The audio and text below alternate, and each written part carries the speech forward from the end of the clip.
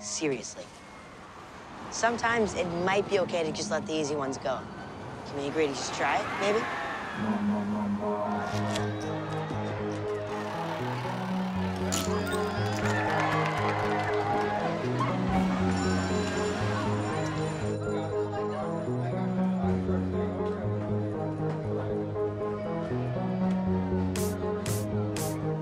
I know we're supposed to be saving the world, but would it be unprofessional if we just hung out here for a bit?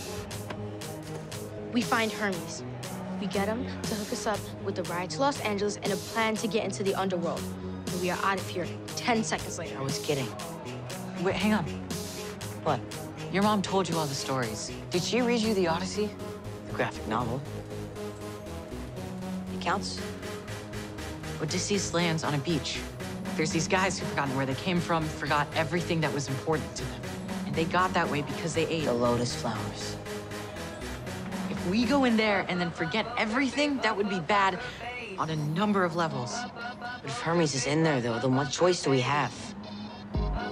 What do you think, wise girl? Just don't eat anything. Wait, why were you looking at me when you said that?